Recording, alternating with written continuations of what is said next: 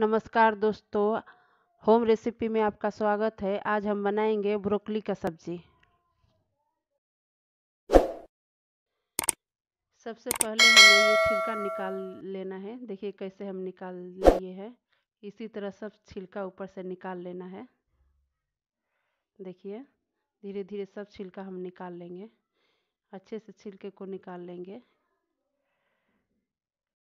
सबका छिलका ऐसे ही हम निकाल लेंगे एक एक टुकड़े को, पूरा छिलका निकाल लेंगे।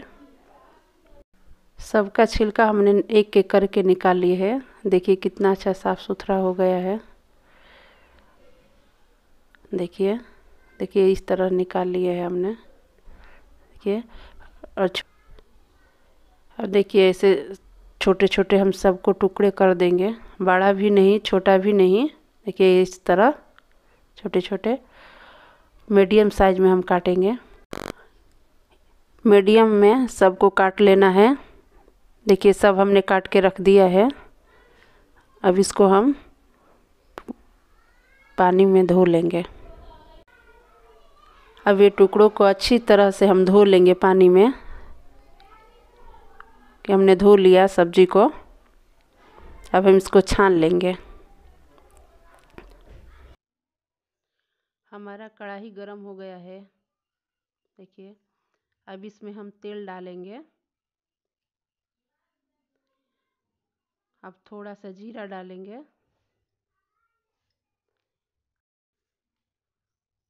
अब इसमें लहसुन डालेंगे, कुछ इस तरह के टुकड़े डालेंगे।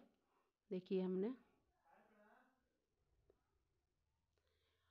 और हरी मिर्च डालेंगे। देखिए लंबा लंबा काटा है इसको। और इसको थोड़ा चला लेंगे।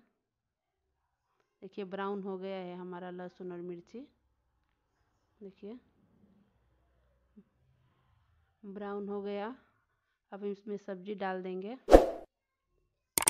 सारे सब्ज़ी को डाल देंगे इसमें।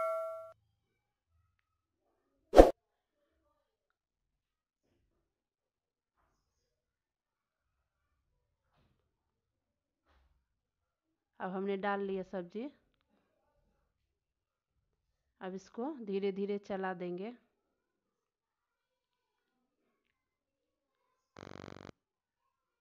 देखिए कैसा दिख रहा है हरा हरा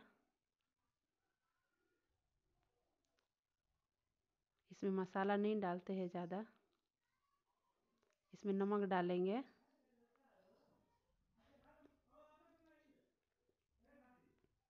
और एक चम्मच हल्दी डालेंगे। हमने हल्दी डाल लिया है।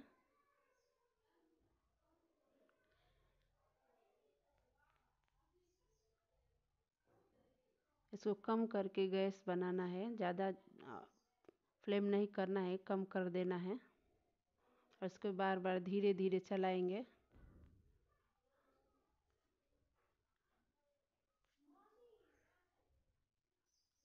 इसको ढक लेंगे।